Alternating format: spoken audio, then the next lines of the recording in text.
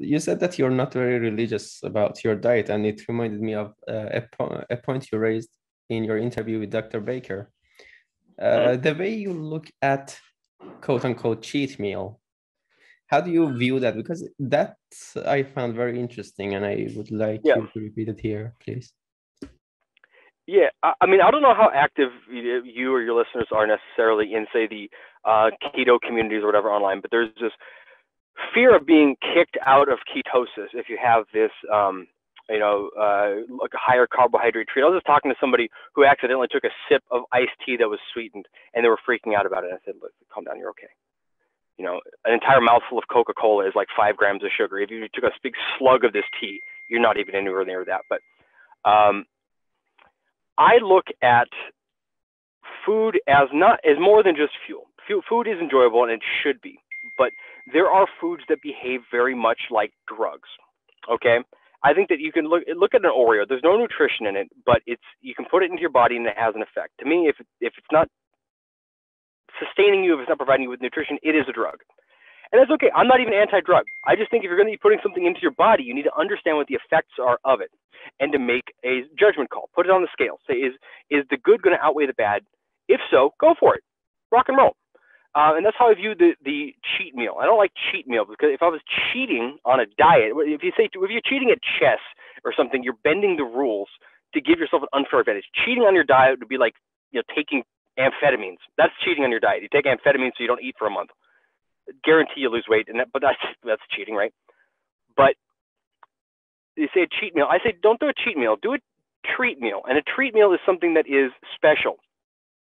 So you know, some people say, oh, every two weeks you have a pop tart or whatever, and I'm like, that seems kind of silly, right? I mean, the pop tarts, they're always there. They're on the they're on the shelves. They're they're not made with love. They're not, you know, there's nothing special about them, and that, that's something that you know, growing up, I loved sandwich cookies. I loved the Oreos. I loved uh, we had these EL fudges, which were like a chocolate sandwich cookie.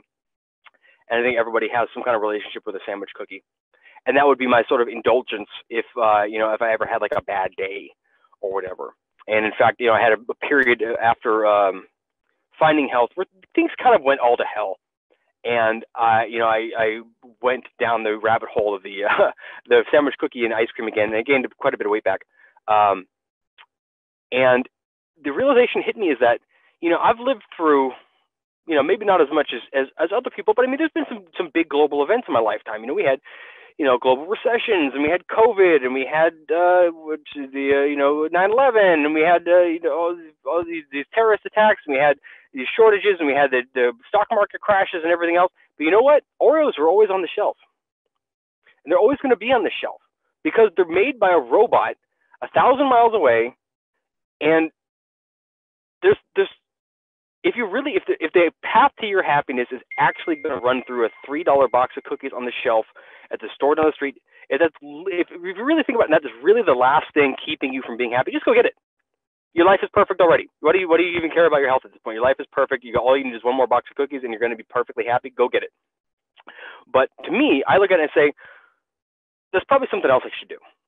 And if there's something that is special, you know, for example, for my wife's uh, birthday a couple years ago, we were in Las Vegas, and there's a very, very good restaurant there called the Momofuku, and um, I think it's David Chang's restaurant, and we got this amazing like ten course meal, and it had yeah, it had rice and and cake and all this other kind of stuff that came with it, and we had these uh, uh, craft cocktails that had sugar uh, in them as well, and it was a phenomenal meal, and it was worth it because I don't I'm never going to have a chance. To, well, I won't say never, but I don't have a chance to do that every day. I can go get Oreos every day. I can't have a meal at the Momofuku every day. I can't have, you know, for example, my grandma's apple pie or whatever. Um, I can't have, you know, some regional treat maybe while I'm on vacation. You know, I, I, I get to travel a bit. So there's certain things that I just can't get locally. Okay. And I'll, look at it and say, oh, if it looks good enough, yeah, let's try it. Uh, at least try a little bit.